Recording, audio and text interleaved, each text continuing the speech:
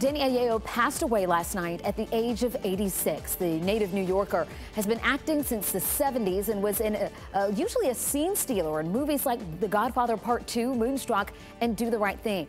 He's survived by his three children and wife who he'd been married to since 1955.